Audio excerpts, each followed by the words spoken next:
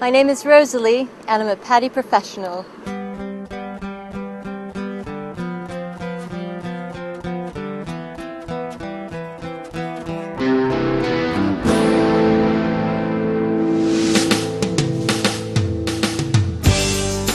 I decided to become a scuba instructor sitting at my desk in London. It was a really great day. I was looking at my computer and I just thought, no, there has to be more to this. And it was just an immediate decision.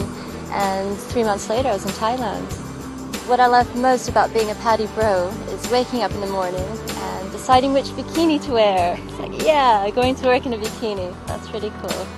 My name's Rosalie. I'm an instructor with Cayman Diving College. That attaches itself to your BCD. It's your buoy. My most memorable teaching experience, I think, was working with a lady who had just learned to swim about five years ago. She's terrified of the water, terrified to put her face in the water. And working with her a few days afterwards, she was loving it. And that was really rewarding, personally, knowing I had helped her overcome a fear of water.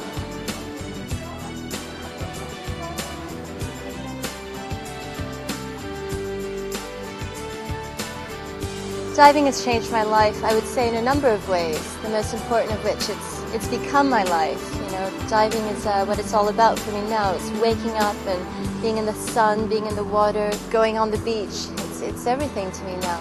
Uh, it's brought a lot of fun and adventure and travel into my life as well, and that's what I was looking for.